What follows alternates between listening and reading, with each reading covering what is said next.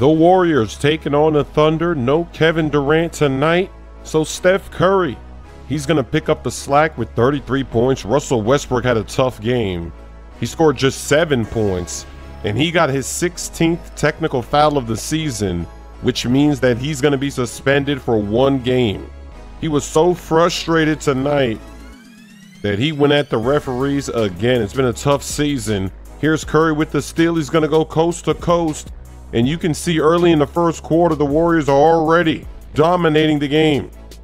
Russell Westbrook shot just 12% from the field.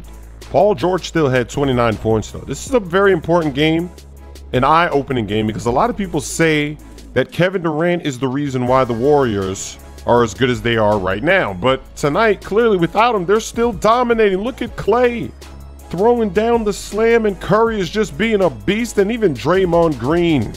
He's going to find Curry wide open in the corner, but even Draymond Green is going to knock down a three in this one. When that happens, you're really in trouble. Defenders are flying, trying to chase Curry around those screens. And now they're sagging off Draymond, so he might as well let it fly, and he's got it. What a tough loss for the Thunder to deal with. Warriors are cruising to victory. Klay Thompson, he finished with 23 points in this one. Back to back green release. Three in a row. Green release. I'm never missing again. Let's go. Oh, how do I miss the money? Last rack. Oh, sit down. I can't see. Oh, look at that cheese. I can't see the release. He stood up to block the release. Wow, the CPU is cheesing.